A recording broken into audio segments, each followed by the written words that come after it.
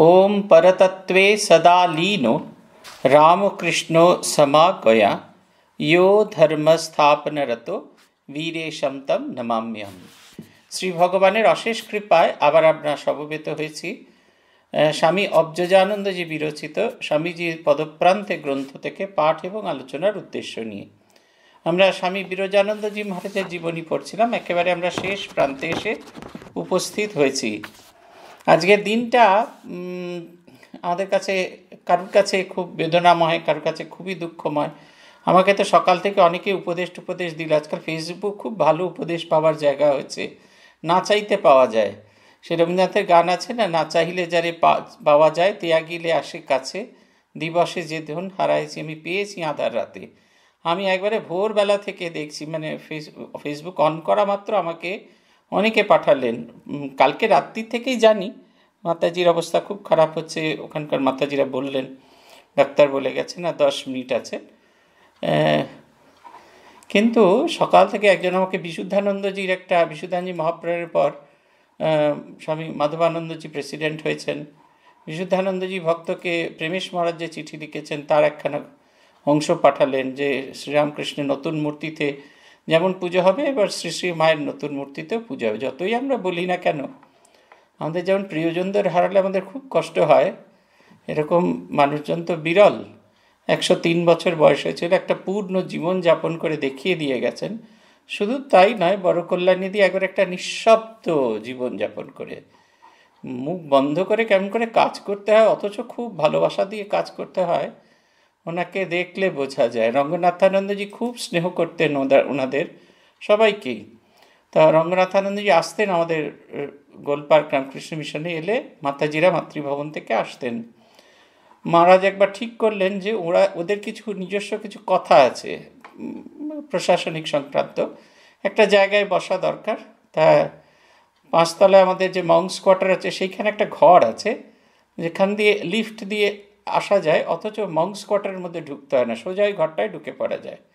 ওই ঘরটা খুব বিখ্যাত, তার কারণ রঙ্গনাথনজি প্রেসিডেন্ট হওয়ার পর প্রথম দিন ওখানে একজনকে মন্ত্র দীক্ষা দিয়েছিলেন ওই ঘরে। আমরা রাত, আমাদের রাত্রিরে পাঠ হতো, সেইখানে ওই লিফটে করে চারজন চারজন মাতাজি, একতলায় আমি আর চারতলায় আরেকজন সাধু দাঁড়িয়ে আছেন। মাতাজিদের বার করে করে ওই জায়গায় পাঠাচ্ছেন। তখন মাতাজি, তখন প্রব্রাজিকা সারদা প্রাণা মাতাজি মায়েরা অনেকেই দেখেছেন, ডাক্তার ছিলেন পেশায়। স্বামী জ্যোতিষস্বরূপ জ্যোতিষস্বরূপানন্দজির জ্যোতিষরানন্দজি মহারাজের শিষ্য ছিলেন, শিষ্যা ছিলেন তিনি। তিনি, তার হার্ট কার্ডিয়াক প্রবলেম ছিল। তিনি জুনিয়র বয়সেও কম মাতাজি থেকে। উনি এসে আমাকে এমনভাবে বললেন, ভারতীয় এই ভক্তিপ্রাণা মাতাজি, বাবা, তুমি আগে সারদাকে ওপরে তুলিয়ে দাও। ও উঠে গেলে আমাদের কোনো সমস্যা নেই। যেমন করে নেতা একজন একজন করে তুলিয়ে দেয়। তিনি দাঁড়িয়ে আছেন, উনি সবচেয়ে বয়সে বড়।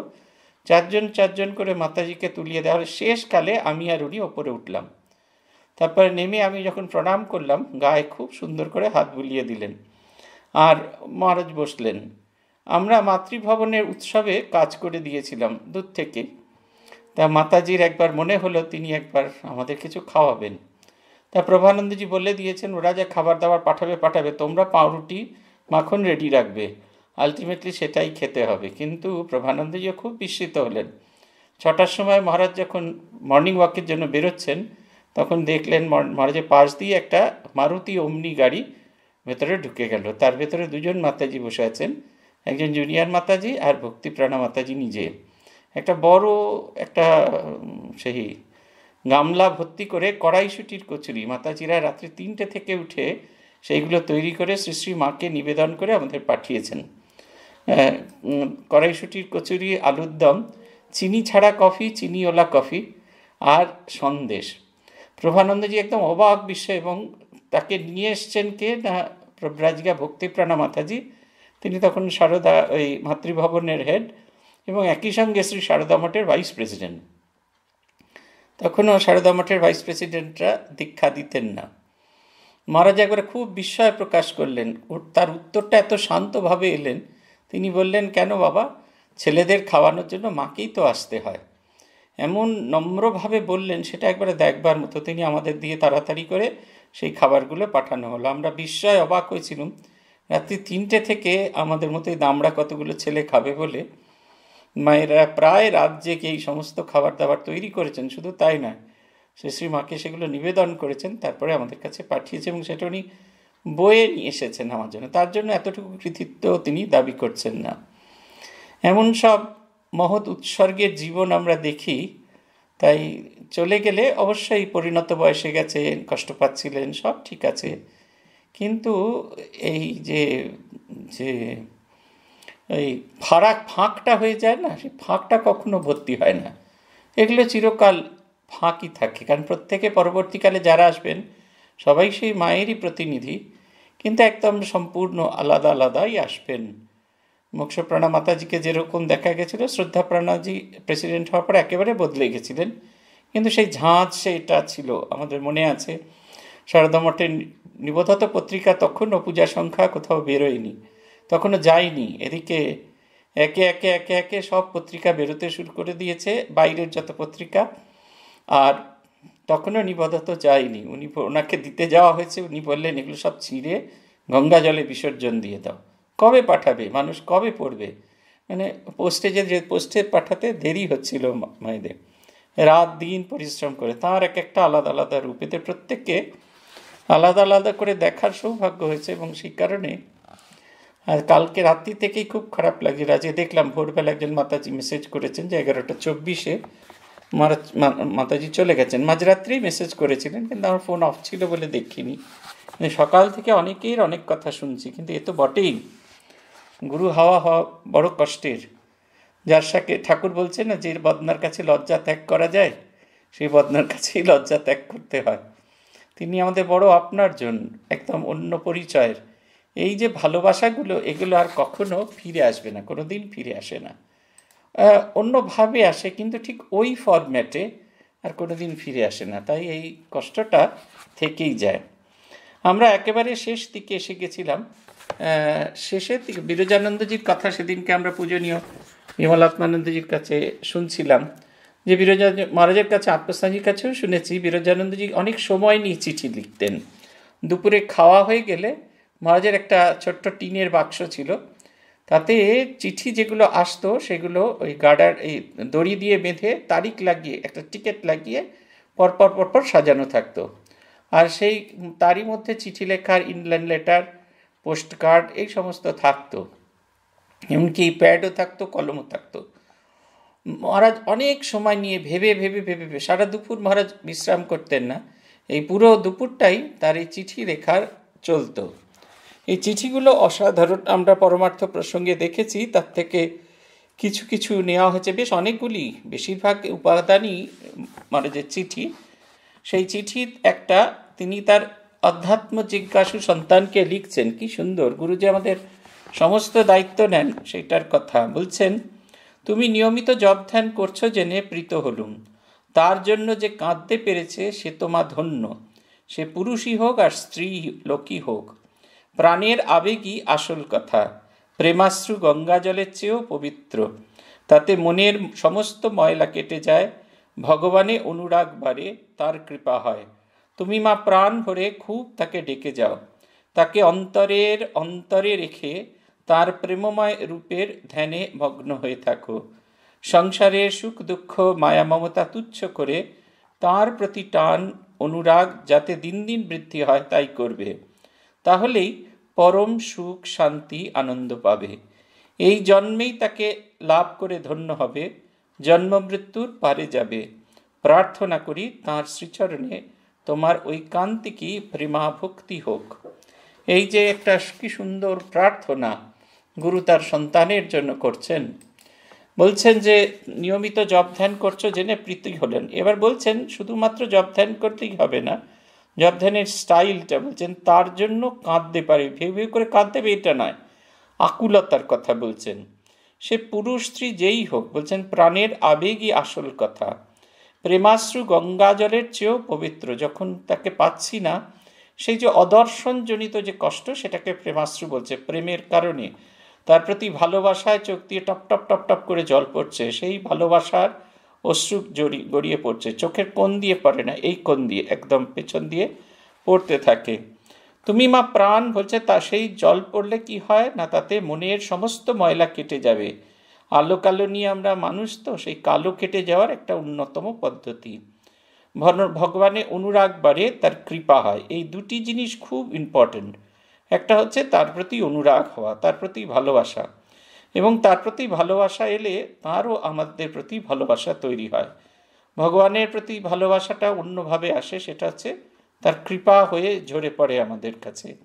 ইংরেজিতে একটা ভারী সুন্দর কথা আছে prayer goes up and blessings comes down প্রার্থনা উপরের দিকে দিক তাকিয়ে আমরা করি, আর আশীর্বাদ ওপর থেকে ঝরে পড়ে। সেই তোমাকে পাচ্ছি না, অদর্শনজনিত দুঃখ। বলছেন, তুমি মা প্রাণ ভরে খুব তাকে ডেকে যাও। তাকে অন্তরের অন্তরে রেখে তার প্রেমময় রূপে ধ্যানে মগ্ন হয়ে থাকো। সংসারের সুখ দুঃখ, মায়া, মমতা তুচ্ছ করে তার প্রতি টান, অনুরাগ যত দিন দিন বাড়বে, যা যত দিন দিন বৃদ্ধি হয় তাই করবে, তাহলেই পরম শান্তি, আনন্দ পাবে। কি সুন্দর করে একবারে প্রসেসটা বলছেন। আমরা এই যে সংসারের প্রতি যে ভালোবাসা, সংসারের প্রতি যে কেউ সুখ দিলেন, তাতে এবারে মজে গেলাম, কেউ দুঃখ দিলেন তাতে ভেঙে চুরে তছনাচ হয়ে গেলাম। কাউকে ছাড়তেই পাচ্ছি না, অথচ সে আমাকে ছেড়ে চলে যাবে, এটা আমি জানি। তার প্রতি সে যে মায়া, মমতা, এগুলোকে তুচ্ছ করে কেমন করে এগিয়ে যেতে হবে তার পদ্ধতিটি বলছেন। এটিকে তুচ্ছ করে করলেই আমরা ভগবানের দিকে আরও বেশি এগিয়ে যাব। বলছেন, তার প্রতি টান, অনুরাগ যাতে দিন দিন বৃদ্ধি হয়। সাধন ভজনের মূল কথা, তার প্রতি একটু একটু করে তার কাছে এগিয়ে যাওয়া। আপনি একজন মানুষকে দূর থেকে দেখছেন আর তিনিও আপনাকে দূর থেকে দেখছেন। যত আপনাদের, আমাদের, তার সাথে নৈকটত্ব বাড়তে থাকবে, যত, তত দূরত্বটা কমতে থাকবে। এই আমাদের ইয়ে জিজ্ঞেস করেছিলেন, আমাদের কেশবচন্দ্র সেন জিজ্ঞেস করেছিলেন, কেন মূর্তিতে প্রয়োজনের, প্রয়োজন আছে? ঠাকুর তাকে সেই পশ্চিমের গোল বারান্দায় নিয়ে গিয়ে দেখিয়েছিলেন, সূর্য অস্ত যাচ্ছে। বলছেন, দেখো দেখি সূর্য কি অতটুকুই? কেশব বললেন, না, সূর্য অতটুকু নয়। পৃথিবী সূর্যের থেকে অত দূরে, অনেক দূরে আছে বলেই সূর্যকে অতটুকু দেখায়। ঠাকুর তাকে বলেছিলেন যে, ভগবানও ঠিক তাই। যত দূরে আছেন, তাই যতক্ষণ তিনি দূরে আছেন, ততক্ষণ আমাদের তার একটা রূপের প্রয়োজন হয়। আমরা যত তার কাছে যেতে থাকব, তত, যত তাতে মিশে যাব, তখন আর আমাদের রূপের প্রয়োজন হবে না। এই যে তার প্রতি অনুরাগ, তার প্রতি ভালোবাসা, এটা যতক্ষণ আসবে, বলছেন, পরম সুখ শান্তি আনন্দ পাবে। এই তিনটি সুখ, শান্তি, আনন্দ এর তার আগে ব্যবহার করছেন পরম। পরম কীরকম না যে আনন্দ পেলে আর কোনো আনন্দ আর ছোঁয়ে না, সুপ্রিম। এই জন্মেই তাকে লাভ করার করে ধন্য হবে। জন্ম মৃত্যুর পারে যাবে। জন্ম মৃত্যুর পারে ওভাবে আমরা যাই না। আমরা ভগবানময় হয়ে যাই আর এই জন্ম মৃত্যু আমাদের ছুঁয়ে যায় না। এই যে আমাদের মনে হচ্ছে তা, মাতাজি চলে গেছেন, মৃত্যু তাকে ছুঁয়ে গেছে, কোনো রকমভাবেই নয়। এরা মৃত্যুহীন জীবন যাপন করে গেছেন। যতদিন মাতৃভবন থাকবে, ততদিন দেখবেন মানুষ যে দশ বেডের একটা হাসপাতালকে এক মহিলা কেবলমাত্র তার নিজের অর্থ নেই টাকা পয়সা সেরমভাবে কিচ্ছু নেই, শুধুমাত্র নিজের প্রয়াসে কেমন করে ধীরে ধীরে একশো বেডের একটা হাসপাতালে তৈরি করতে পারে। সেখানকার সব পেশেন্ট তার আত্মীয়, সমস্ত শিশু তার ভীষণ প্রিয়। লোকে যেরকম গর্ব করে বলে, আমি নিবেদিতা স্কুলে পড়েছি, আমি ওখানে পড়েছি, আমি সেখানে পড়েছি। ঠিক সেরকম অনেকে গর্ব করে বলে আমার জন্ম মাতৃভবনে হয়েছে। মাতৃভবনে মানে ভক্তিপ্রাণা মাতাজি দু হাতের মধ্যে হয়েছে, আমি তার স্পর্শ পেয়েছি। এই জন্ম মৃত্যুর পারে যাওয়ার কথা, এমন তাকে ভালোবাসতে হবে, এই জন্ম মৃত্যুর স্পর্শ তাকে ছুঁয়ে যাবে না। তারপরে এখানেই থামছেন না, বলছেন, প্রার্থনা করি, তার শ্রীচরণে তোমার ঐকান্তিকী প্রেমা ভক্তি হোক। মহাপুরুষ মহারাজ পাঠাচ্ছেন তার এক সন্তানকে, অপূর্বানন্দজিকে। বলছেন, গিয়ে ঠাকুরকে গিয়ে বলো যে, আমি জ্ঞানহীন বিবেকহীন, বৈরাগ্যহীন, ভক্তিহীন, তুমি আমার ভেতরে জ্ঞানের প্রকাশ ঘটাও, আমার তোমার প্রতি ভালোবাসা ঘটাও, আমি যেন তোমাকে ভালোবাসতে পারি। শুধু ওইখানেই থামছেন না, তোমারই এক সন্তান তোমার কাছে এমন করে প্রার্থনা করার কথা শিখিয়ে দিচ্ছেন। দেখুন, ঠিক একই ধারা চলছে। প্রার্থনা করি, ওইখানেই থামছে না, তাঁর প্রার্থনাও যেন জুড়ে যাচ্ছে। শ্রীচরণে শ্রীচরণে তোমার তোমার ঐকান্তিক ঐকান্তিকই প্রেমাভক্তি হোক। মহারাজের একটা খুব সুন্দর ছিল, ভূতেশানন্দজির লেখা চিঠিগুলি শেষে তিনি লিখতেন, শ্রী ভগবানের প্রতি তোমার ভালোবাসা বৃদ্ধি পাক, দিন দিন বৃদ্ধি পাক। কোনো সমস্ত চিঠি শেষে এই কথাটাই একটু অন্য ঘুরিয়ে ফিরিয়ে একই কথা লেখা থাকতো। শ্রী শ্রী ঠাকুরের কাছে প্রার্থনা তাঁর শ্রীচরণে তোমার ভক্তি, ভালোবাসা দিন দিন বৃদ্ধি পাক। আবার অনধাক, অনধিকারী যে আছে, তাকে তার জন্য তার একবারে খুব বাস্তব চিন্তা। এটা আত্মস্থানন্দজিকে দেখে আমরা বুঝেছি। এইখানে তিনি কি সুন্দর করে তার উত্তর দিচ্ছেন। এই সমস্ত যে কথা শুনতে পারবে না, পালন করতে পারবে না, তাকে গিয়ে বলছেন, তুমি যেসব আধ্যাত্মিক প্রসঙ্গের অবতারণা করছ ও সকলের সময় এখন তোমার নয়। ও সকলের সময় এখন তোমার নয়। আগে খাওয়া পড়ার ব্যবস্থা করো, তারপর ওসব হবে। খালি পেটে ধর্ম হয় না। তুমি এখন এমনি নেলা খাবলা যে গয়ায় শ্রাদ্ধ করতে গিয়ে সোনার আংটিটি হারিয়ে ফেল এলে। এরকম হলে কি জীবনে কোনো উন্নতি হয়? সংসারই করো আর ধর্মই করো। এ একবারে খুব খুব পরিষ্কার। একবারে ভীষণ রকমের শক্ত মানুষ। বলছেন, আমাদের এই, আমাদের এখানেই অনেকে আসেন তো, একজন ভক্ত এসেছেন, খুব বিনয়ী, এরকম করে আছেন একবারে সবসময় আমাকে দেখলেই হাত জোর করে আছেন। এসে পৌঁছেছি সেদিনকে, সঙ্গে সঙ্গে তিনি আমাকে খুব তার ভালোবাসা, আবেগের কথা বলছেন, আমার ভালোও লাগছে। বেশ প্যাম্পার চাইল্ড বলে নিজেকে মনে হচ্ছিল। যেমন দিল্লিতে গিয়ে একজন মহিলা আমাকে বললেন, একটু দাঁড়ান, আমার ছেলে দেখতে চায়। আপনি হাত পা নাড়লে আপনাকে কেমন দেখায়? কি যে আনন্দ হচ্ছিল, কি যে আনন্দ হচ্ছিল, আমি তো ভাবছিলাম যে ভেতরের গেঞ্জিটা না ছিঁড়ে ফেটে যায়। আমি এই ঘটনাটা যে কতবার কতভাবে বলেছি, তো সেই রকম উনি ওরকম করছিলেন, আমি ওনাকে একটা কথা বললাম, জানেন তো? শ্রীরামকৃষ্ণ ধর্ম বলে একটা স্বাভাবিক জীবনযাপন করার কথা। স্বাভাবিক জীবনযাপন করাটা খুব জরুরি। আমাদের প্রেসিডেন্ট, আমাদের গুরুদের দেখে আমরা এটা শিখেছি যে খুব স্বাভাবিক একটা জীবনযাপন করা। এবার রঙ্গনাথানন্দজি প্রেসিডেন্ট হয়েছেন, ঠাকুরের একটা সিল্কের প্রসাদী কাপড় আর চাদর দেওয়া হয়েছে, সেটা পরে এসেছেন, ওনার খুব অস্বস্তি হচ্ছেন। এমনি করে পেটের কাছে হাতটা ধরে নিয়ে উনি আসছেন। কিন্তু হন হন হন হন করতে করতে আসছেন, এবারে ছুটতে ছুটতে আসছেন। ঠাকুরের মন্দির থেকে স্বামী ব্রহ্মানন্দজির মন্দির, মায়ের মন্দির, স্বামীজির মন্দির এসে তারপরে পার্শ্বদের সমাধিস্থলে প্রণাম করে দ্রুত আগে ঘরে ঢুকে গেলেন, প্রণাম নিলেন না। তারপরে আমরা যখন প্রণাম নেওয়ার সময় মহারাজকে দেখলাম দেখলাম মহারাজ সেই ধরাছুরো খুলে ফেলেছেন। ওনার সেই দক্ষিণী কেরলিয়ান কায়দায় পরা সেই দক্ষিণী কাপড় আর তার উপর সেই আধখানা জামা যেরকম উনি পরতেন আর উত্তরীয়টা সারা গায়ে দেওয়া আর উল্টো করে ঘড়ি পরা। পা মুড়ে বসে আছেন সেই তার পুরনো অ্যাটায়ারে তিনি যে সঙ্গের সঙ্গগুরু, একেবারে তার সামান্যতম প্রকাশ হচ্ছে না। বন্দনানন্দজি গুরু পূর্ণিমার দিন এসেছেন, স্বামী গহনানন্দজিকে প্রণাম করতেন। বন্দনানন্দজি অনেক বড় বয়সে অনেক বড়, সন্ন্যাসেও বড়। গহনানন্দজি তখন প্রেসিডেন্ট তাকে প্রণাম করতে গেছেন। গহনানন্দজি উঠে পড়েছেন সেবকের হাত ধরে।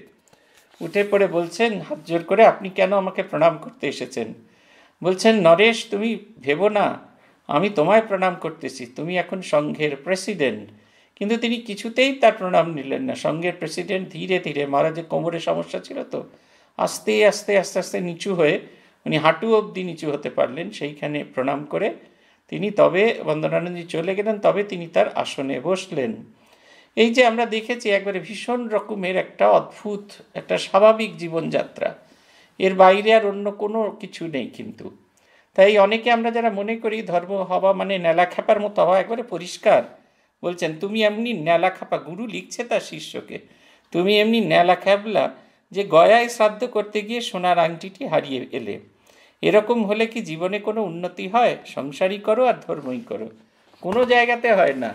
সংসার করতে গেলে তো আরও বেশি কষ্ট। আমাদের তো খানিকটা ছাড় আছে। আহা, ছেড়ে দাও গো, ছেড়ে দাও। আপনাদের তো কেউ ছাড়ে না। একবারে এতটুকু রোজগার কম হলে সঙ্গে সঙ্গে গিন্নি কর্তাকে শুনিয়ে দেবেন, কর্তা গিন্নিকে শুনিয়ে দেবেন। রান্না একটা পদ কম হলে আর তো দেখতে হচ্ছে না। একবারে অবস্থা খুব খারাপ। কোনোভাবে নেলা খাপলা হয়ে আপনি যদি বলেন, আমি ঈশ্বরের সাধন ভোজন করছি, আজকে আলু ভাজা, ভাত আর ডাল দিয়ে খেয়ে নাও। প্রথম দিন খেয়ে নেবে, কিন্তু পরের দিন আপনার মাথায় অবশ্যই ডান্ডা মারবে। এটা কথা তো বটেই। রামনারায়ণ তর্কতীর্থ বেলুর মঠে এসেছেন। তার সঙ্গে তিনি শ্রীমৎ ভাগবতে বিশেষ পণ্ডিত।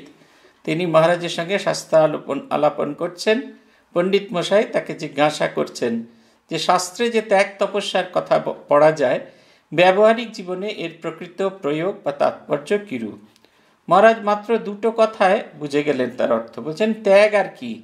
বিষয় আসক্তি ত্যাগ। আর তপস্যা কি?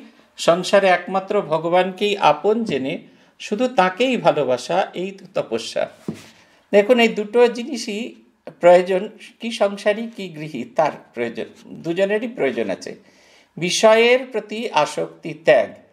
এই যে বিষয়ে, বিষয় ত্যাগ করতে বলছেন না কিন্তু। আরও হোক আরও হোক আরও হোক more I want more I want more I want এই যে আসক্তি ওমা ওর ওরকম হয়েছে, এই বিশেষ করে আজকে একজন বলছিলেন, তার মেয়ের বিয়ে, বললেন, আমি বললাম, কি, বাজার দোকান সব হয়ে গেছে? বলছে, কি আর বাজার দোকান করব। এখন তো সব তৈরি জিনিস ইভেন্ট ম্যানেজার বিয়ে বাড়ি সাজিয়ে দেবে কেটাররা খাবার ব্যবস্থা করবে। শুধু মেয়েরা রোজ যায় আর জিনিসপত্র কেনে, কেনা আর শেষ হচ্ছে না। আমি বললাম, কবে বিয়ে? কত সতেরোই জানুয়ারি না কবে? বললেন। বললেন, আমার মনে হচ্ছে ষোলোই জানুয়ারি বিকেলের আগে বোধ শেষ হবে না, কেনা। বলছে, এখন বলছেন কিচ্ছু করতে হয় না, তত্ত্বও নাকি লোক আছে প্যাকিং করে দিয়ে চলে যাবে। আগে তো দেখতাম সেই মা কাকিমারা সব একবারে পা ছড়িয়ে বসে হাঁটু গেড়ে দিনের পর দিন তত্ত্ব তত্ত্ব চলছে, তার সঙ্গে চা খাওয়া চলছে, সব চলছে। এই যে আরও চাই আরও চাই আরও চাই, ত্যাগ আর কিচ্ছু নয়। এই যে অতিরিক্ত যেটা প্রয়োজন সেটা অবশ্যই থাকতে হবে। তাই মানে কি, একবারে ঘুরে ফিরে চলে যেতে হবে। বাবুরাম মহারাজের দুজোড়া মানে এক জোড়া কাপড় ছিল। আর একটা ফতুয়া ছিল, আর একটা চাদর ছিল, আর একটা গরমের খাদির, গরমের চাদর ছিল। একটা খরম আর একটা রবারের স্লিপার ছিল। এই বাবুরাম মহারাজের সম্বল। আমাদের তো সম্বলই সম্বল, এত জিনিস এত জিনিস এত জিনিস। ট্রান্সফার করবার সময় সেই সব পূর্ণ হাতে সব দিয়ে, শূন্য হাতে না, পূর্ণ হাতে দিয়েও শেষ হচ্ছে না। একবারে শেষই হচ্ছে না, এত জিনিসপত্র সব জোগাড় করেছে। কোনটা কবে খেঁতা দিয়েছিল, কোনটা কবে মোচা দিয়েছিল, কোনটা কবে পচা দিয়েছিল, কোনটা মনের মধ্যে কি আসক্তি হয়েছিল, কি সুন্দর উত্তর। বলছেন, ত্যাগ আর কি বিষয় আসক্তি ত্যাগ। দেখুন, এটা আমরা গৃহীরা এবং সন্ন্যাসীরা দুটোই দুটো, দুজোই, দুপক্ষই এটি পালন করতে পারি। আর বলছেন, তপস্যা সংসারে একমাত্র ভগবানকে আপন জেনে শুধু তাকেই ভালোবাসা, এই তো তপস্যা। ভগবান ছাড়া এই জগৎ সংসারে আর দ্বিতীয় কোনো বস্তু নেই। তিনি ছাড়া আর দ্বিতীয় কোনো সত্তা নেই আমাদের জীবনে। এইটা জেনে একমাত্র তাকে ধরেই আমাদের জীবনকে সব করে নেওয়া। একটা গল্প আপনাদের বলেছিলাম এটা আমার খুব ভালো লাগে বলতে। খুব বকাঝকা খেতাম আমরা যখন সাধু হতে এসেছি, বিশেষ করে কৃষ্ণমূর্তি মহারাজ এখন যিনি ব্রাজিলে আছেন, তার কাছে তো ভীষণ বকাঝকা আমরা খেতাম। আমাদের ওদের যেন অধিকারী ছিল, আমাদের নতুন ছেলেদের ধরে ধরে খুব খুব বকাঝকা করা। বকেছেন, এত বকেছেন, ভীষণ কষ্ট পেয়ে কাঁদতে কাঁদতেই প্রায় ফচফচ করতে করতে নিজের কোয়ার্টারে ফিরে যাচ্ছি। পথে স্বামী জগদাত্মানন্দজির সঙ্গে দেখা হলো। উনি জিজ্ঞেস করলেন, কি বেটা, কি হয়েছে? এরকম করে জিজ্ঞেস করতেন। আমি বললাম, এরকম র্যাশনাল লোকেদের সঙ্গে থাকার কোনো মানে হয় না।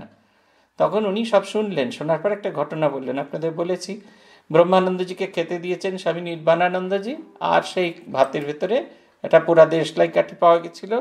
সেই দেখে ব্রহ্মানন্দজি খুব রেখে গেছেন। বললেন, বাবুরাম দা, এরা আমাকে বিষ খাওয়াচ্ছে। বলে উঠে সূর্যি মাছকে খুব মারতে শুরু করেছেন। মারতে মারতে মারতে মারতে একদম দেওয়ালে ঠেসে গেছেন। রাজামাঝে গায়ে খুব শক্তি ছিল। এক একটা চাল পড়লে ভীষণ লাগতো। বাবুরাম মহারাজ খালি বলছেন, সূর্যি পালা সূর্যি পালা সূর্যি পালা। বাবুরাম মহারাজের দিকে স্থির দৃষ্টিতে তাকিয়ে সূর্যি মহারাজ বলছেন, কোথায় পালাবো মহারাজ? যেখান থেকে পালিয়ে আসা, সেখান থেকে তো পালিয়ে এসেছি, আর কোথায় পালাবো? এই যে দেওয়ালে পেট ঠিক পিঠ ঠিকে যাওয়া অবস্থা, আমার আর দ্বিতীয় কোনো অপশন নেই। উনি আমাকে এই ঘটনাটা বলে বললেন, যতক্ষণ না পর্যন্ত সঙ্ঘের সঙ্গে এই রকম একটা বন্ডিং তৈরি হচ্ছে ততক্ষণ পর্যন্ত এই ভালো লাগা, খারাপ লাগা এগুলো তোমাকে স্পর্শ করে যাবে। এই সঙ্গের সঙ্গে বন্ডিংটা তৈরি হওয়া দরকার। আমার এই জগৎ সংসারে আর কেউ নেই। শ্রীমদ্ ভগবত গীতার সেই দৈব আমাদের বিশ্বরূপ দর্শন যোগে অর্জুন বলছেন না, তুমি একমাত্র আমার জানার একমাত্র কারণ, তাই তোমাকেই ভালোবাসি। আমি জানি তুমি আমার একমাত্র আধার। জগতে সবাই আমাকে ফেলে গেলেও তুমি আমার একমাত্র আধার। মা বলছেন, আর কেউ না থাকুক তোমার একজন সবসময় জানবে তোমার একজন মা আছেন। ভগবান আমাদের চির আশ্রয়। এইটা জেনে তিনি ছাড়াই জগৎ সংসারে কেউ আশ্রয় দেবে না। এই যে আজকে আমি আপনাদের সামনে হাত, পা নাড়ছি, কত কি করছি, একটা যদি গুজব আমার থেকে চলে যায়, এই একশো ছয় যে যখন ভিউয়ার সংখ্যাটা, আমি যত ক্লাস নিই, সবাইকে এসো এসো, ঘণ্টা টন্টা বাজি টাজি ডাকি, ওই ছয়তে নেমে যাবে। বাকি একশোটা উবে যাবে। এটা হচ্ছে কথা। একমাত্র ঈশ্বর তিনি আমাদের কখনো কোনো জিনিস, কোনো দিন, কোনো অবস্থাতে ফেলে দেন না।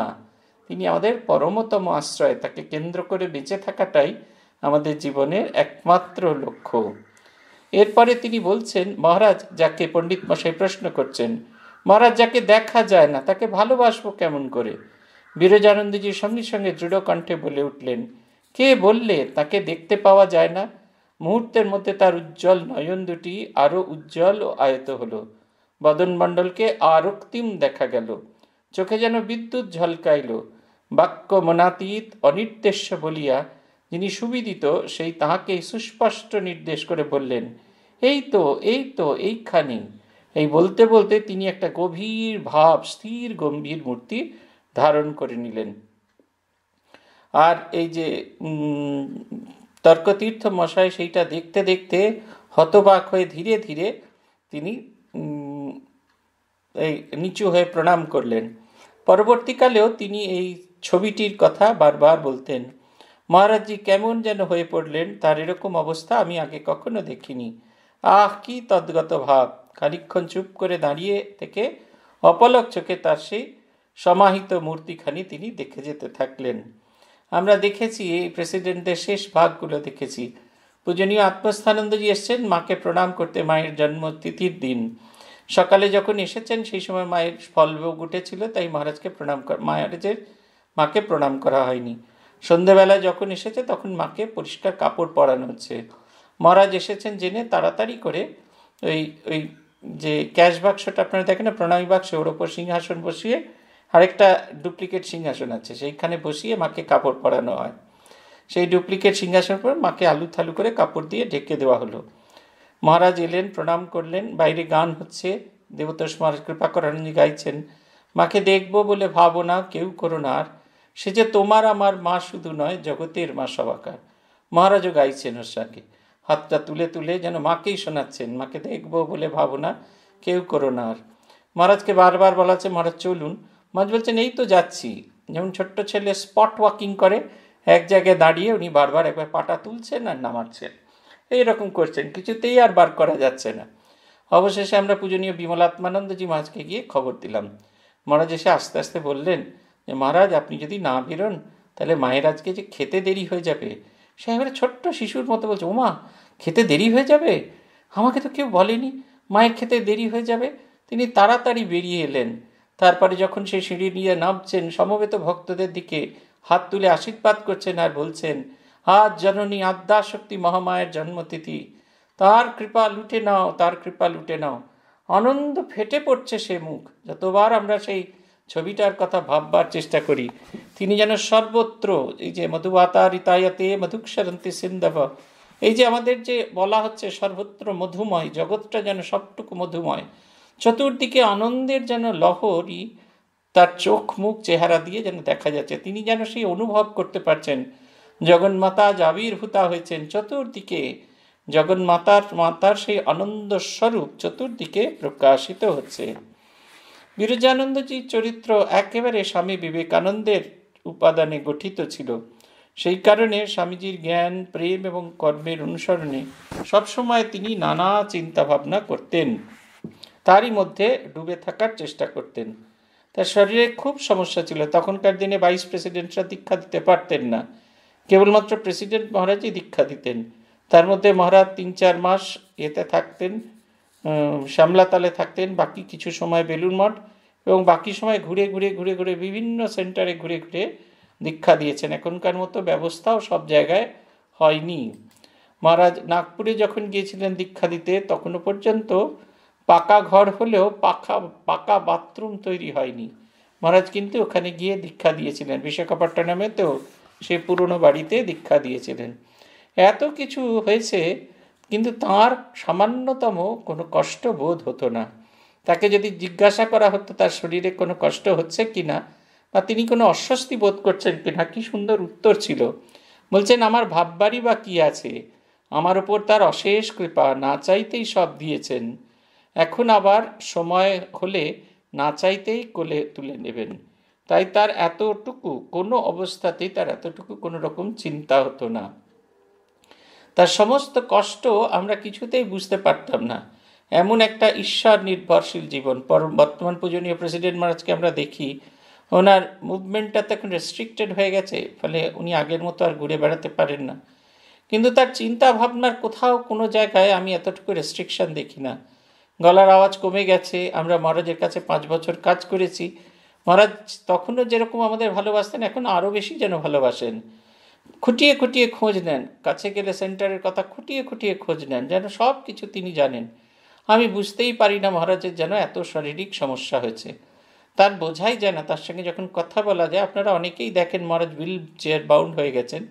কিন্তু মহারাজকে আমি ঘরে গিয়ে বারবার অনেকবার দেখেছি মহারাজ যখন কথা বলেন, কখনো মনে হয় না। গলার আওয়াজটা খুব ফিবল হয়ে গেছে, খুব আস্তে শোনা যায়। মহারাজের কথা কিন্তু একদম পরিষ্কার বোঝা যায়, উনি কি বলতে চাইছেন। এবং উনি তার শব্দরাজির ভেতরে তার একটা অদ্ভুত ভালোবাসা আসে। এত যে শারীরিক কষ্ট, এটা যেন সম্পূর্ণ উপেক্ষা করেছেন। অদ্ভুত এক শরণাগতির ভাব, যেন নিজেকে সম্পূর্ণভাবে তাঁর শ্রীপাদপদ্মে অর্পণ করে দিয়েছেন। তার নিজের ভাববার আর কিছু নেই। তাই বলছেন নাচাই তো মোরে করেছ দান, আকাশ, আলোক, তনু মনো প্রাণ। দিনে দিনে তুমি নিয়েছ মোরে, তোমারই, কি তোমারই কাছে যোগ্য করি। ওই আমি বহু বাসনায় প্রাণপণে চাই, বঞ্চিত করে বাঁচালে আমায়। সেখানে এই কথাগুলো আছে যে, আমি না চাইতেই তুমি আমাকে সব দিয়েছ, আকাশ, আলোক, সব যা কিছু আমার প্রয়োজনীয় সব দিয়েছ। এবং প্রত্যেক দিন তুমি আমাকে ধীরে ধীরে একটু একটু করে তোমার যোগ্য করে তুলছ। এই যে ঈশ্বর চিন্তা এমন মগ্ন হয়ে গেছে, তার শরীরের যে কষ্ট, সেগুলো সম্পূর্ণ ভুলে গিয়েছেন। আনন্দে একবারে ভরপুর হয়ে আছেন আর কি। কিন্তু তার শিষ্যদের জন্য তার সমস্ত সময় সে চিন্তা থাকতো।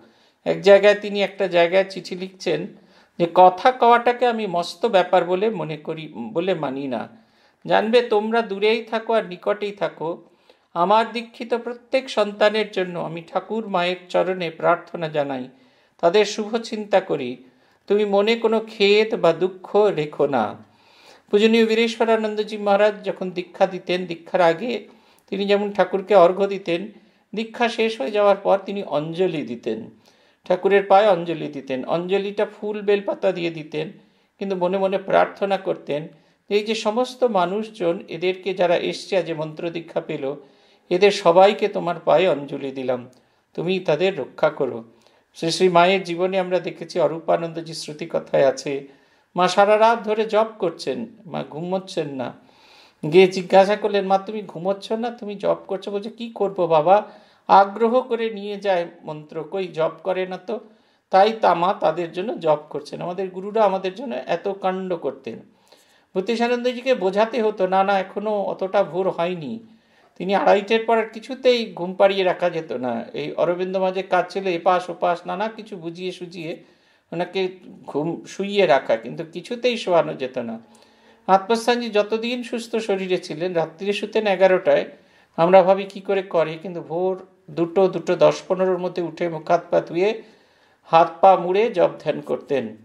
তার যেই যেমন করে পা মুড়ে বসে তিনি দীক্ষা দিতেন, ওরকম পা মুড়ে বসে দীক্ষা দিতেন ভোর পাঁচটা অবধি। তিনি সঙ্গের সঙ্গগুরু শ্রীরামকৃষ্ণের প্রতিনিধি। তার আলাদা করে সাধন ভজন করার দরকার নেই।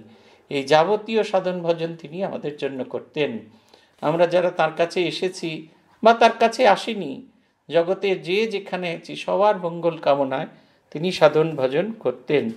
তাই বলছেন, আমি তোমাদের তো কথা বলতে পারি না, কিন্তু নিশ্চিত কথা বলাটাকে আমি কোনো রকম মস্ত ব্যাপার বলে বলে মানি না। জানবে তোমরা দূরেই থাকো বা নিকটেই থাকো, আমার দীক্ষিত প্রত্যেক সন্তানের জন্য আমি ঠাকুর মায়ের চরণে প্রার্থ জানা, প্রার্থনা জানাই, তাদের শুভ চিন্তা করি। ভূতেশানন্দজির একদম শেষ সময়ের অবস্থা। একদিন সকালে আমরা প্রণাম করতে গেছি, উনি খুব আবেগ ঘন গলায় বলছেন, দেখো, ছেলেরা আসে আর ছেলেরা চলে যায়। আমি তাদের ওরা ভাবে আমি তাদের দিকে ফিরেও তাকাই না, তা কিন্তু নয়। আমি তোমাদের বড্ড ভালোবাসি। আমি তোমাদের সঙ্গে কথা বলতে পারি না পারি, আমি তোমাদের বড্ড ভালোবাসি। যে বড্ড ভালোবাসি কথাটার ভেতরে এমন একটা আবেগ ছিল ব্রহ্মচারীরা টপ টপ করে চোখ দিয়ে সকলে জল পড়ছে। আমাদের মধ্যে একজন এগিয়ে গিয়ে বলল, না মহারাজ, আমরা সেটা অনুভব করতে পারি। আমরাও চাই না যে আপনার কাছে বেশি তখন মাঝে কাছে বেশি যেতে দেওয়া হতো না ইনফেকশনের ভয়। তাই বলছেন যে, না, আমরাও চাই। এই যে সকালে পনেরো মিনিট এতেই আমরা তৃপ্ত। আপনার আপনাকে এইটুকু দেখেই আমরা তৃপ্ত। মহারাজ তখন সকালে মর্নিং ওয়াক করতেও বেরোতে যেতেন না। আমাদের এমন একটা অবস্থা হয়েছিল যে মহারাজ যখনই বেরোতেন, কীভাবে কে যেন খবর পেয়ে যেত। সবাই ওই পেছন পেছন পেছন পেছন চলছে। সামনের দিকে আলোচনা হচ্ছে, মজা, আনন্দ হচ্ছে, পেছন দিকে কেউ কিছু শুনতেই পাচ্ছে না। সেই আনন্দের ঢলের মতোই আজকাল সেই স্টেডিয়ামে ওয়েভ দেখায় না? মানুষ একদল উঠল আরেক দল বসল। ওয়েভ হয় হিউম্যান ওয়েভ ঠিক সেই রকম সামনে থেকে আনন্দের ঝড়টা যেন পেছন অবধি। কেন হাসছে? কী জন্য হাসছে? পেছনের সাধু কেউ বুঝতে পারবে না। কিন্তু অদ্ভুত এক আনন্দ। কারণ তিনি সকলকে, সকলের ভেতরে সেই আনন্দ স্বরূপকে জাগিয়ে রাখছেন।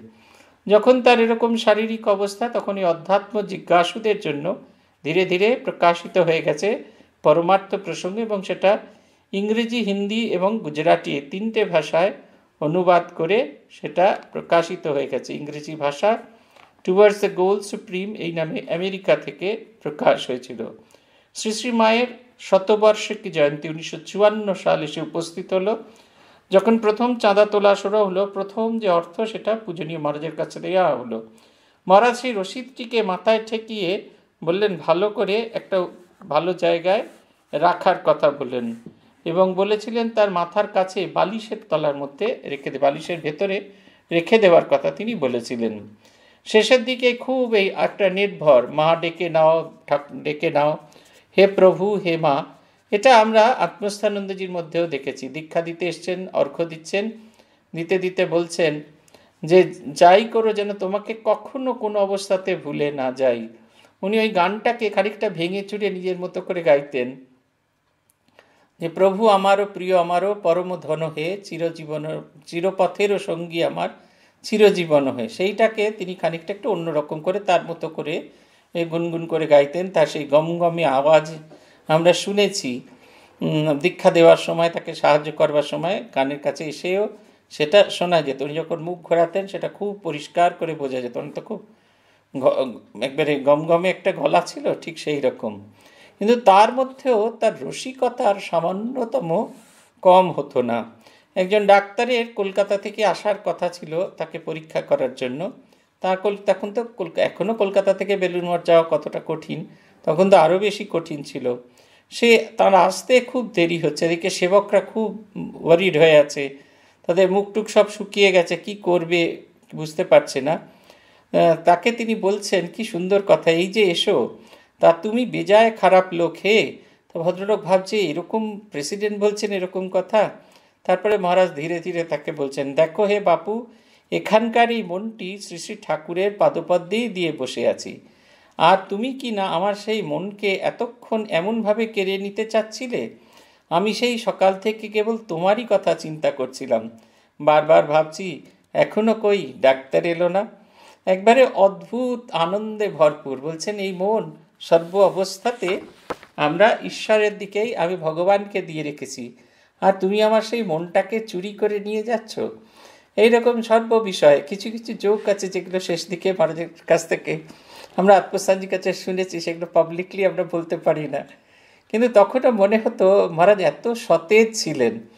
সেই অল্প বয়সে যে সমস্ত মজার গল্প শুনেছেন, যে সমস্ত বন্ধুরা যেরকম একে অপরের সঙ্গে যেরকম খুব সাধারণভাবে কথা বলে, পূজনীয় মাঝে সেই রকম সব নানা রকমের গল্প ছিল যেগুলো আমরা আত্মস্থাজির কাছে শুনেছি, তখন মনে হতো মহারাজ শেষ বয়সে কত কত সজীব ছিলেন। মহারাজকে ডাক্তার একবার বলেছিলেন যে আপনার যাবতীয় রোগের মানে জ্বর হলো, উৎস হলো আপনার স্মোক করাটা, মহারাজ স্মোক করতেন। অম্বুড়ি তামাক খেতেন, তখন তিনি বললেন হ্যাঁ হয়ে গেছে। সেই ন্যাংটো বয়স থেকে মানে তখনও তিনি প্যান্ট পরতেন না, সেই বয়সে তার দাদুর যে ওই যে তামাকে থিলহকো সেইখান থেকে চুরি করে তামাক খাওয়ার অভ্যাস তার হয়েছিল। যে এত বছর কাটিয়ে এলাম, কিছু হলো না। আর এই বুড়ো বয়সে কিনা আমার যাবতীয় রোগের উৎসই স্মোকিং তখন ডাক্তার একটুখানি হার্ষই বলেন সে কি কথা? আপনি স্বামী বিবেকানন্দের শিষ্য। আপনি একটা ছোট্ট জিনিস ছাড়তে পারবেন না? ঠিক আছে, ছেড়ে দিলাম। তারপরে ডাক্তারের বোধ একটু দয়া হলো। তিনি বললেন, না না, একেবারে ছাড়তে হবে না। দিনে দুটো দেয়া হবে। দুপুরে খাবার পর এর একটা সিগারেট আপনাকে দেবে, রাত্রিরে খাবার পর আবার একবার দেবেন। কিন্তু প্রথম এক দুদিন নেবার পরে কীরকম যেন একটা বিরোজানন্দজি মনে হলো, এরা বোধহয় আমাকে খুব দয়া করছে। যা যা যা, দয়া করছিস, যা যা, নিয়ে যা। অত বছরের চেয়ে সেটা সঙ্গে সঙ্গে চলে গেল। অদ্ভুত মজার মানুষ। প্রত্যেক দিন একটু একটু করে শেষ হতে চলেছে। একেবারে অনাহারে ছিলেন শেষ সাত দিন, কিচ্ছু খাননি। একবারে যেন মহাপ্রস্থানের যেন প্রস্তুতি নিচ্ছেন। একেবারে জলবিন্দুও গ্রহণ করছিলেন না, কেবলমাত্র সেই একটু একটু করে চরণামৃত দিয়েছে, কিন্তু দর্শন বন্ধ ছিল না। ভক্তরা এসে তাকে দর্শন করতে পারবে। এই পূজনীয় বিমলাত্মানন্দজি বলছিলেন, প্রভু মহারাজের চলে যাওয়ার ঘটনাটা বর্ণনা করছিলেন। বলছেন, প্রভু মহারাজের যেদিন শেষ দিনও চলে চলে যাচ্ছেন, সেই দিন সকালেও তিনি জামা কাপড় শেষ একেবারে শেষের দিকে যখন কোভিড থেরাপি হতে হয়েছিল, সেই সময় বাধ্য হয়েই ওনার সেবকদের জামা কাপড় কাচবার অনুমতি দিয়েছিলেন। তার আগে অবধি উনি প্রেসিডেন্ট অবস্থায় নিজের জামা কাপড় নিজেই কাচতেন। আর উনি তো ইস্ত্রি করা জামা কাপড় পরতেন না, তাই কোনো রকম সমস্যাও ছিল না সেবকের কোনো সাহায্যও নিতে হতো না। কিন্তু যখন এটাও চলে গেল, উনি নিজের কৌপিনটা কাঁচা কখনো বন্ধ করতেন, করেননি। যেদিন শরীর চড়ে গেল, যেদিনকে তার খুব শরীর খারাপ, সেই দিনকেও লিকুইড সোপ ছিল। চোখে তো দেখতে পেতেন না, বাথরুমে ঢুকে একটা জায়গা থেকে লিকুইড সোপ নিয়ে তিনি তার কৌপিনটা কাচতেন এবং একটি রড বাথরুমে স্পেসিফিক করা ছিল, যেখানে সেটা শুকর দিতেন। তিনি রোজ মন্দিরে যাবেন। তাকে শরীর চলে যাবার আগের দিনের ঘটনা, তিনি মন্দিরে যেতে চাইছেন, সেবকরা কেউ নিয়ে যাবেন সেবকরা মনে করেছিল যে তার শরীরের যে অবস্থা তারা কেউ সাহায্য না করলে তিনি বোধহয় মন্দিরে যেতে পারবেন না। কিন্তু তিনি লাঠির ওপর ভর করে ধীরে ধীরে ধীরে ধীরে বেরিয়ে গেলেন এবং বেরিয়ে গিয়ে তিনি একেবারে ওই প্রেসিডেন্ট মহারাজ তখন এই যে এখন যেখানে আপনারা ঢুকে শহীদানন্দজি বসেন, যেখানে একটা ঠাকুরের ছবি আছে, ওইটা আসলে একটা দরজা। ওই দরজা দিয়ে প্রভু মাস বেরিয়ে পড়েছেন। তখন ওটা দরজাই ছিল। দরজা দিয়ে বেরিয়ে একেবারে গেটের কাছে এসে পড়েছেন, আত্মস্থান আত্মস্থানজি এরকম একেবারে যখন কোনো শুনছেন না ওরা আত্মস্থানজিকে ডেকেছেন। মহারাজও সেই সময় এসে পৌঁছেছেন। মহারাজকে বলছেন, মহারাজ, আজকে যেতে হবে না। বলছে, না, তুমি আমায় নিয়ে চলো। মহারাজ গাড়ি ডেকে মহারাজকে কোলে করে তুলে সেই গাড়ির মধ্যে বসালেন। আবার সেবকরাও সঙ্গে গেল। আবার ওইখানে, যেহেতু সেবকরা সাহায্য করেনি, তাই অভিমান হয়েছে। তিনি ওই যখন মন্দিরের কাছে গেলেন, তখন আবার আত্মস্থানজি তাকে কোলে করে নামাতে সাহায্য করেন। সেবকরা ওপরে নিয়ে গেলেন। কিন্তু শরীর চলে যাওয়ার দিন আর শরীর চলছে না। সেদিন আর তিনি অর্ঘ্য দিতে মন্দিরে যেতে পারলেন না। পূজারীকে ডেকে পাঠালেন, চারটে অর্ঘ্য নিয়ে আসতে বললেন। তিনি মন দিয়ে সেই চার মন্দির ঠাকুর, রাজা মহারাজ, স্বামীজি এবং মা এই চার মন্দিরে অর্ঘ্য পাঠালেন। তারপরে গহনানন্দজি এবং আত্মস্থানন্দজিকে ডেকে মিটিং করলেন শরীর চলে যাওয়ার আগে। তারপরে ওনার ওই যে কাছে যে শ্রী শ্রী মায়ের যে চরণ রজটা ছিল যেটা সবসময় আমার, ওনার বুক পকেটের মধ্যে থাকতো, যেটা উনি দীক্ষার্থীদের মাথায় ছুঁয়ে দিতেন, সেই চরণ রজটি বার করে গহনানন্দজিকে দিয়ে দিলেন। তখনও গহনানন্দজি অ্যাসিস্ট্যান্ট সেক্রেটারি তার গুরু হবার কোনো সম্ভাবনা নেই, কিন্তু তার হাতে তিনি যেন ট্রান্সফার করে দিলেন এবং খুব পিসফুলি তিনটে তিরিশ মিনিটে তিনি চলে গেলেন। তার কয়েকদিন আগেই ঠাকুরের তিথি পুজো গিয়েছে এবং সেই তিথি পুজোর দিনও তিনি জোর করেই মন্দিরে গিয়েছেন সেখানে গিয়ে তখন ব্রহ্মচর্য এবং সন্ন্যাস একই দিনে হতো ঠাকুরের তিথি পুজোর দিন। শেষবারের মতো উনিশশো পঁচাশি সালে তিনি ব্রহ্মচর্য এবং সন্ন্যাস দীক্ষা দিয়েছেন। শুধু এত অসুস্থ ছিলেন যে গ্রুপ ফটোটা করা যায়নি। এর জীবনেও ঠিক তাই, এ একটু একটু একটু করে চলে গেলেন। এমনকি আত্মস্থানীর কাছে শুনেছি যে ওই বিকেল থেকেই সব ওই গান গাইবার লোক দল এসে গেছে। উনি বলছেন, না না, এখনও সময় হয়নি। এখনও বাকি আছে। আর খানিক্ষণ পরে গানও থেমে গেল। মহারাজ শুয়ে আছেন, সেই গভীর চিন্তায় মগ্ন আছেন। আত্মস্থানজি বললেন হ্যাঁ একটা সময় জানিস তো, সময় এসে গেল। চুলগুলো সব খাড়া হয়ে গেছে, লোমগুলো সব খাড়া হয়ে গেছে। আর তিনি বিস্ফারিত দৃষ্টিতে কিছু একটা যেন দেখছেন। এত আনন্দ, সেই চোখ যেন তার চোখের কোটর থেকে বেরিয়ে আসবে। একেবারে তিনি আনন্দে ভরপুর হয়ে গেছেন। মহারাজের শরীর চলে যাওয়ার ঘটনাটি এটি আত্মস্থানজি বলেছিলেন, ব্রাহ্ম মুহূর্তে একবারে ভোরবেলায় চলে গেছিলেন। তিরিশে মে উনিশশো একান্ন সাল, পনেরোই জ্যৈষ্ঠ বুধবার তেরোশো আটান্ন খ্রিস্টাব্দে ব্রাহ্ম ব্রাহ্ম মুহূর্তে বিরজানন্দজির শরীর চলে যায়। অতীতের স্মৃতিতে বলা হয়েছে, অতীতের স্মৃতিতে এই জিনিসটা নেওয়া হয়েছে। তখনকার দিনে খুব সুন্দর অবিচুয়ারি লেখা হতো। খুব বড় হতো না, কিন্তু খুব ছোট। সেই রকম একটি অবিচরিতে মহারাজের শরীর চলে যাওয়ার পর উদ্বোধন লিখেছিল, তাহার সুদীর্ঘ জীবনে শ্রী শ্রী মা স্বামীজি ও শ্রী শ্রী শ্রী ঠাকুরের অপরাপর পার্শ্বদ প্রত্যক্ষ সহযোগ এত নিবিড়ভাবে সংগঠিত হইয়াছিল যে তাহাকে দেখিয়া যেন শ্রীরামকৃষ্ণ পরিকরগণেরই একজন বলে মনে হইত। বস্তুত বরানগর মঠের জাজ্জল্যমান অগ্নিশিখা যে জীবনসমূহকে সাক্ষাৎভাবে প্রদীপ্ত করিয়াছিল স্বামী বিরজানন্দের দেহাবসানের সহিত তাহার আর কোনোটি অবশিষ্ট রইল না। সেই বহুমানিত অগ্নিশিখার শেষ রশ্মিটি বিদায়ের ক্ষণে নিশ্চিতই তাই সকলের মনে একটি গভীর বেদনা ও শূন্যতা বোধ জাগিয়ে গিয়েছে। ঠাকুর মা স্বামীজির পরে, স্বামীজিদের পরে যিনি সাধু হতে এসেছিলেন বরানগর মঠে, তিনি স্বামী বিরজানন্দজি এবং ওই বরানগর মঠে স্বামীজিদের পরে যখন প্রথম যে সন্ন্যাস হয়, যাকে দিয়ে সন্ন্যাস অনুষ্ঠান শুরু হয়, তিনি হলেন বিরজানন্দজি। তিনি শ্রীরামকৃষ্ণ পার্শ্বদের এত সঙ্গ পেয়েছেন, তাদের মধ্যে দিয়ে ঠাকুরকে ঠাকুরকে, ঠাকুরের ভাব তার মধ্যে এমনভাবে জাগত, দেখে মনে হয়েছিল যিনি স্মৃতিচারক লিখছেন, তার মনে হয়েছিল যে শ্রীরামকৃষ্ণের পার্শ্বদরা যেরকম ইম্পর্টেন্ট তিনিও ঠিক যেন সেই রকমই তার অবস্থাটা সেই অবস্থায় প্রজ্বলিত হয়েছিল। এবং বরানগর মঠে যে কজনকে স্বামীজি কৃপা করেছিলেন, তাদের মধ্যে অন্যতম শেষ তিনি ছিলেন। কারণ তার আগে কেদার বাবার শরীর চলে গেছে উনিশশো সাতচল্লিশ সালে, আর ইনি চলে গেলেন তিরিশে মে উনিশশো একান্ন সালে। এই শেষ রশ্মিটি চলে গেল। আজকে যেরকম ভক্তিপ্রাণা মাতাজির শরীর চলে যাওয়ার সঙ্গে সঙ্গে আমাদের এই জগৎ থেকে শ্রীরামকৃষ্ণ পার্শ্বদের দীক্ষিত সন্তান একবারে সম্পূর্ণভাবে অপসৃত হয়ে গেল, আর আর কেউ নেই। আর দুই হচ্ছে একই সঙ্গে ওই যে যে আটজনকে নিয়ে সংঘ তৈরি হয়েছিল, যে আটজনকে প্রথম উনিশশো চুয়ান্ন সালে ব্রহ্মচর্য দীক্ষা এবং উনিশশো উনষাট সালের পয়লা জানুয়ারি শ্রী শ্রীমায় শুভ আবির্ভাব তিথিতে সন্ন্যাস দিয়ে এই শ্রী সারদা মঠে সংগঠিত হয় এবং তার প্রথম ট্রাস্ট বোর্ড তৈরি হয়। সেই যে আটজন ছিলেন, তার মধ্যে আট নম্বর তিনি শেষজন তিনি পুত্রব্রাজিকা ভক্তি প্রাণামাতাজির শরীর চলে যায়। এদের জীবনগুলো খানিকটা জানেন তো, পদ্ম ফুলের মতো। পদ্ম ফুল যখন ফুটে ওঠে, তখন তার অদ্ভুত একটা সুগন্ধ থাকে। তারপরে সেই সুগন্ধ চলে যায় পাতাগুলো ঝরে যায়, তার যে পাপড়িগুলো একটু একটু করে ঝরে যায়, ডাঁটি শুকিয়ে যায়, সব চলে যায়। কিন্তু সেই সুগন্ধের স্মৃতি মানুষের মনের মধ্যে ঠিক যেরকমভাবে থেকে যায়, তেমনিভাবে এইসব দিব্য জীবনগুলো আমাদের নিত্য প্রেরণা জাগিয়ে যায়। নিত্য প্রেরণা আমাদের মধ্যে জাগিয়ে যায়। বেলুন মঠে থাকলে এইগুলো খুব খুব খুব শোনা যেত। বিশেষ করে আমরা যখন ছোট ছিলাম আর ভবনে পার্শ্বদের অনেক সন্তানই ছিলেন, তাদের কাছে গেলেই তারা এদের কথা বলতেন এবং এদের দিব্য জীবন আমরা শুনতে পেতাম। ভূতেশানন্দজি যতদিন ছিলেন, বারবার আমরা বিভিন্ন পার্শ্বদের কথা শুনতে পেতাম।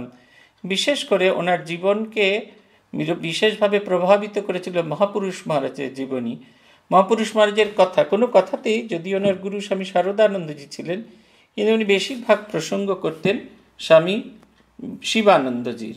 কেমন হয়েছিল কীরকমভাবে আচরণ করতেন?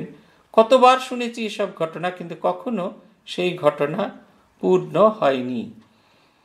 আমাদের যদিও দশ মিনিট সময় আছে, কিন্তু যেহেতু আজকে এখানেই শেষ হয়ে গেল, আমরা তাই আজকে এখানেই থামব। আগামী দিন থেকে আমরা শুরু করব স্বামী বিবেকানন্দের আরেক সন্তান, স্বামী বিমলানন্দজি। ইনি মাত্র ছত্রিশ বছর বেঁচেছিলেন কিন্তু এই স্বল্পায়ু এই মানুষ একটি তার ওই ছত্রিশ বছর আয়ুষ্কালের মধ্যে দিয়েই আমাদের জীবনে একটি নতুন রকমের ভাবধারা, একটি স্বামী বিবেকানন্দের একটি দিক, তার যে ভাবের একটি দিক সেটি আমাদের কাছে প্রকাশ করেছিলেন।